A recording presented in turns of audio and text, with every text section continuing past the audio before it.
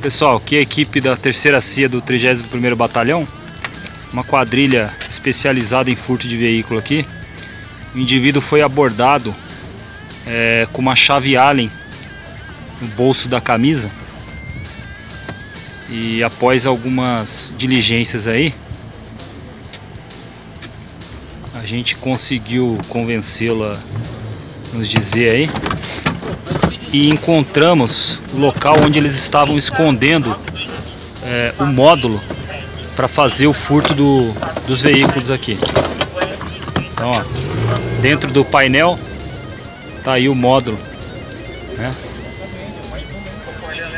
Tá aí o módulo. Parabéns aí, equipe. A Polícia Militar prendeu em flagrante dois homens no bairro Jardim Rincão, em Arujá, nesta sexta-feira, dia 4 do 8. Ambos praticavam furto de veículos pelo local e estavam em carros diferentes. De acordo com o capitão da Polícia Militar, Rodrigo Fernandes, os PMs foram até a residência dos infratores e encontraram uma carta que dava indícios de que eram da organização criminosa PCC, além de equipamentos usados para furtar os carros.